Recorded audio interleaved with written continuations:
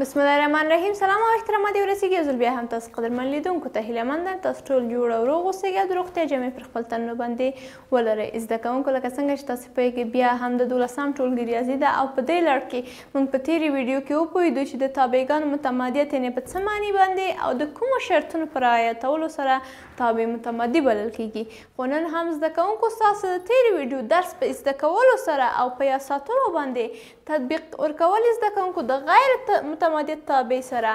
مونږ پيژنو چې غير متمادي تابع څه وخت ده که چيرته يو تابع متمادي ارټکی ونه لري نو هغه تابع ته کوم تابع نوم ورکولای شو يعنې په کوم حالت کې هغه تابع موقعيت لري ښايي زده کوونکو د درس عنوان مو نن بيا هم د تابعګانو غير متماديت ده دغه مبحث تاسو د خپل دولسم ټولګيو ریاضي پښتو چاپ کتابونو په یو دېرشم او دوه دېرشمه پاڼه کې زده کوونکو را پیدا کوئ او د دې په پای کې چې تاسو ویډیو او دا درس په مکمل ډول باندې ولید تاسو به تمرین یا هم پښتنې حلوئ چې دواړه هم د متمادیت له پارت څخه او هم د غیر متمادیت له ناحیې څخه دې ناحیې کې تاسو ته راغلي نو زده کوونکو بیا هم ستاسو د ملتیا په هیله باندې زده کوونکو مونږه وویل بیا هم یو ځل د تابع غیر متمادیت نن څېړو مونږه یو ځل خلاصه په ډېر کوتاه ډول باندې یادوري د تېر درس تاسو ته کوم. مونږ په تېر درس کې متمادي تابع کې دا وویل چې یو تابع چې اف ایکس نومېږي د ایکس مساوي په اې نقطه کې هغه وخت متمادي ده چې د درې شرطونو څخه پیروي وکړي. یاو زده کوونکو دغه اې ټکی د دې د تعریف په ساحه کې شاملوي. دویم، کومه قیمت ګذاري چې موږ په دې تابع کې کوو، کومه نقطه چې موږ ته راکړې ده چې آیا متمادیت ښیي د دې تابع او که نه، دغه په همدې تابع کې وضع کوو او قیمت یې ثابت ډول باندې ساتو او په یاد یې ساتو. وروسته له هغه څخه زده کوونکو همدغه راکړل شوې نقطه کې دې تابع ته تقرب د لیمټ نه ورکوو ګورو دغه نقطه چې دې ناحیه کې تقرب یې کړی ده لیمټ یې څیړو ګورو چې د لیمټ او کومه قیمت ګزاري چې موږ مخکې کړې وه په تابع کې د دوی دغه جوابونه سره مساوي دي او که نه دي که چیرته زده کوونکو جوابونه سره مساوي وو هم د قیمت ګزاري او هم د لیمټ نو زده کوونکو وایي چې تابع متمادي ده که چیرته داسې یو حالت نه وو وایي چې تابع متمادي نه ده خو غیر متمادي تابع لپاره بیا هم زده کوونکو درې شرطونه په نظر نیسو او وایو چې د اف ایکس تابع د ایکس مساوي په ای نقطه کې هغه وخت غیر متمادي ده چې دغه درې شرطونه ونه لري څه شی دی ونه لري یعنی د ای نقطه چې دې ناحیې کې ایکس ورته مساوي شوی ده د انفصال ټکی وي او دغه د انفصال ټکی بیا هم له ځانه سره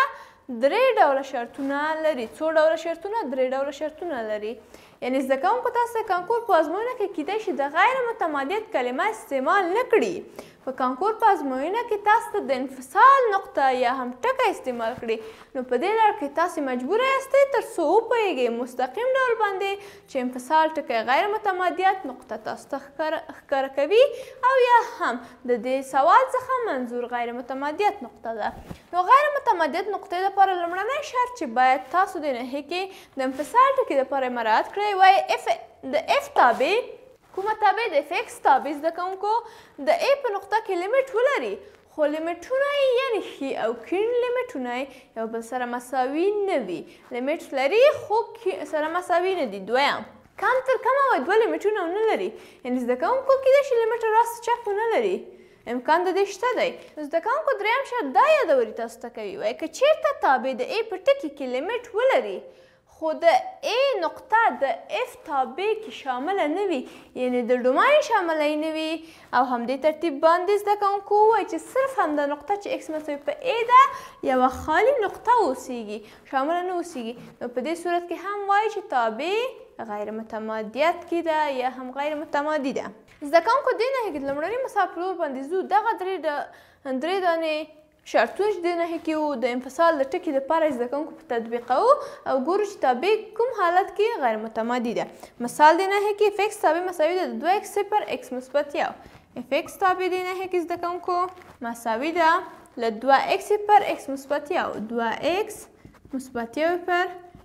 اېکس مثبت یو، په دې ناحیه کې تابع متمادیت د زده کوونکو و اېکس صفر مساوي کېږي په منفي یو باندې. دې ناحیه کې تاسو ته ویلي چې متمادي ده او که نه دا ښایي چې زده کوونکو متمادي نه وي ښایي غیر متمادي به وي خو راځه زده کوونکو لومړی همدغه نقطه ګورو چې رښتیا متمادي ده که غیر متمادي ده. زده کوونکو زه لومړی د متمادیت شرط په دې باندې تطبیقوم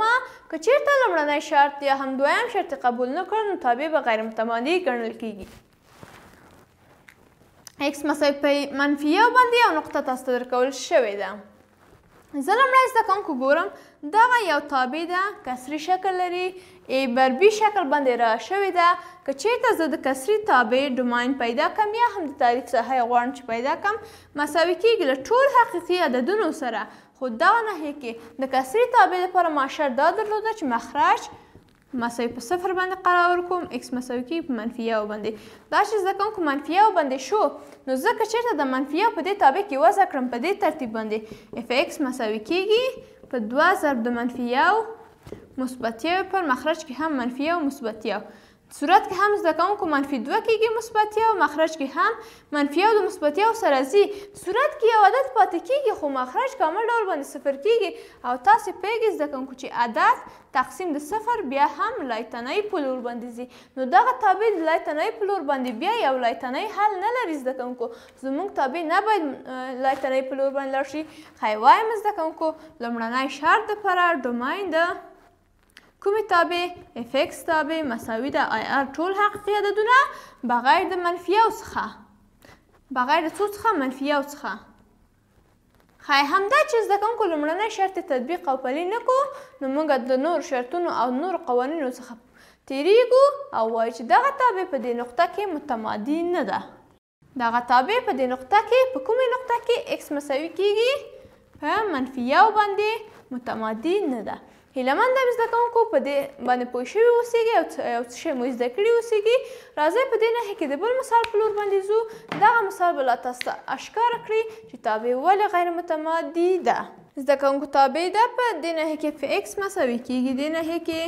دوه دانې شاخې لري چې یوه شاخه یې دوه ایکس مثبت یو ده له ځانه سره شرط هم لري ایکس یې لویو مساوي پس یو باندې ده بل شرط یې زده کوونکو یو منفي اکس ده اکس یې شرط لري له ځانه سره اکس کوچنی ده له یو څخه نو موږ ته ویلي زده کوونکو وایي تاسو دغه پیدا کړئ چې د اکس مساوي په ای په ټکي کې متمادیت یې وایي وڅېړئ که چېرته متمادي نه وي ښایي غیر متمادیت یې وګورئ چې شته که نه نقطه x مساوي کېږي پر یو باندې څه شي x مساوي په یو باندې زده کوونکو مخکې دې چې زه دا مثال حل کړم تاسو ته وایم راځئ چې لومړی د دې تابعګانو د دواړو شاخو انټروالونه جوړ کړو لکه د نهې کې زده کوونکو انټروال دا ده چې د یو څخه قیمت تابع اخلي خپله یو قیمت هم زده کوونکو اخلي او تر مثبت لایتنۍ پورې ادامه لري دې ناحیه کې منفي لای تنای نه زده کوونکو تر یو پورې خو قوسي زده کوونکو دې ناحیه کې تاسو وینئ چې وایي چې زه یو نه اخلم زده کوونکو دې ناحیه کې زه ګورم لیمټ ایکس تقرب کی یو تا د راسته لور څخه یا هم ښي لور څخه ښایي په لومړني انټروال کې شاملېږي تابع لیکن دوه ایکس مثبت یو دې ناحیه کې راځئ زده کوونکو قیمت ګذاري کوم قیمت ګذاري بیا هم دوه ضرب د یو مثبت یو مساوي کېږي یو دوه دوه دوه جمع یو درې کېږي زده کوونکو بیا هم لیمیټ ټې ایکس تقرب کوي د څو یو ته خو دا ځل د منفي یا هم د کیڼ لور څخه دې ناحیه کې زده کوونکو تاسو وینئ چې منفي علامه مر ورکړې ده یعنې تقارب کوي د کیڼ لور څخه یا هم زده کوونکو